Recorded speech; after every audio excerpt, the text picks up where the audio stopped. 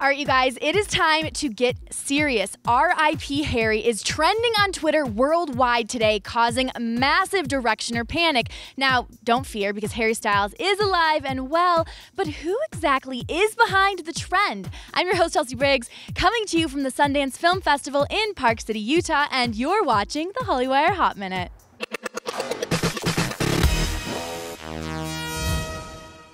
Right, you guys, so what is the deal behind this trend that has us freaking out? Well, get this. The person behind it is none other than Nathan Sykes of The Wanted. I know, but don't get the wrong idea. It's not a mean prank. In fact, it's kind of a sad story. His dog, who happens to be named Harry, died, and he tweeted a picture and a tweet that reads, R.I.P. Harry Dog. Thanks for all the memories, smiles, and love. We're going to miss you.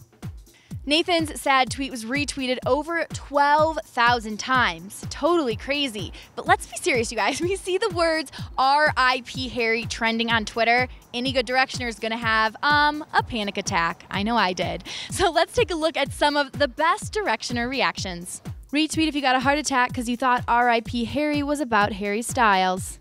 RIP Harry, I almost stopped breathing, thought it's about Harry Styles, then I realized it's for a dog, and I felt sorry for the dog. RIP Harry is trending, and I thought it was about Harry Styles, and I was like, that awkward moment when I see RIP Harry and immediately freak out, thinking of at Harry Styles and not a dog. All right, you guys. So we obviously feel so, so horrible for Nathan losing his furry best friend. It's so sad. However, we did breathe, you know, a sigh of relief that nothing horrible happened to our dear Harry. So let's go ahead and do this. Leave condolences for Nathan in the comment section below. And of course, I also have to know what was your reaction when you saw RIP Harry trending on Twitter because I know you saw it. And also, you guys, keep checking back to Sundance. All of our coverage. It's going to be awesome. We're going to be interviewing the coolest, biggest, best stars ever. So um, for Hollywire.com, I'm Chelsea Briggs. And don't forget to subscribe. I'll see you later. So obviously, we feel so, so horrible for. That's